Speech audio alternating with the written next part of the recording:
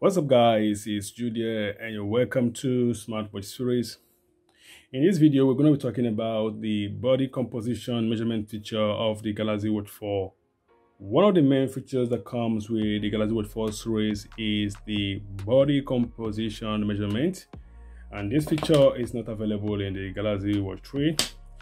So with the body composition measurement on the Galaxy Watch 4 series, you can measure your BMI, you can measure your body water, skeletal muscle, and so on and so forth.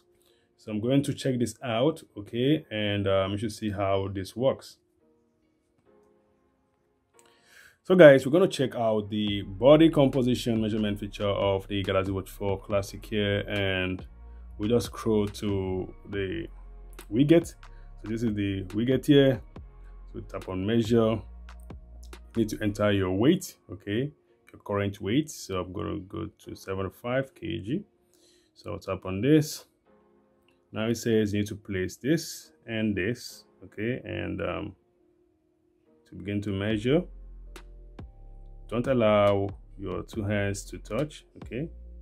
Raise your arm away from the body so stay still.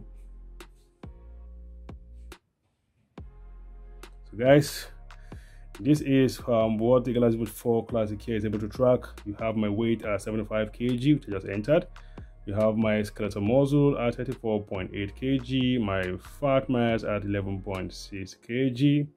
Okay, um, not so great. Okay, skeletal muscle, not so great on the right um, icon.